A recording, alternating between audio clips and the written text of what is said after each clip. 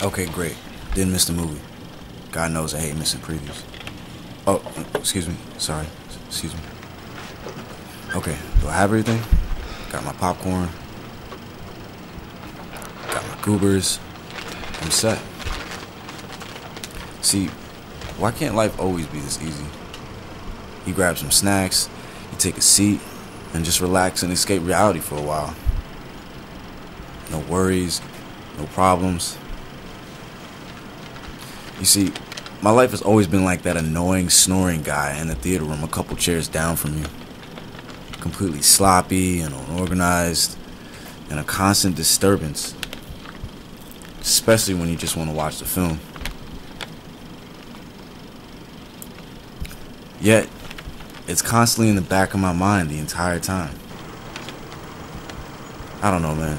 It just seems like as far back as I can remember, there's just always been these distractions.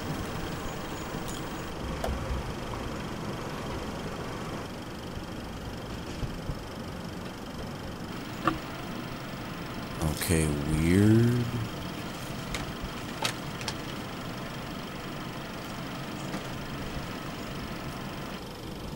Like, look at this girl.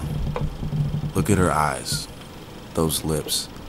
How's a guy supposed to keep focus on the movie when you have that staring back at you the whole time? I guess really what I'm trying to get at here is that we we all have a dream and a goal in life. We all have troubles and insecurities that really all can't be wrapped up in an hour and a half's time. What if we could? What if we could turn our dreams into reality?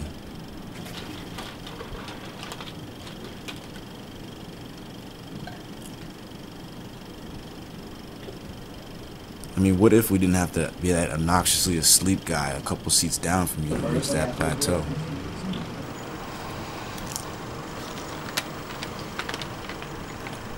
I mean, really, what if we could somehow flip the two? Only dream reality and live out our dreams? Then maybe, just maybe,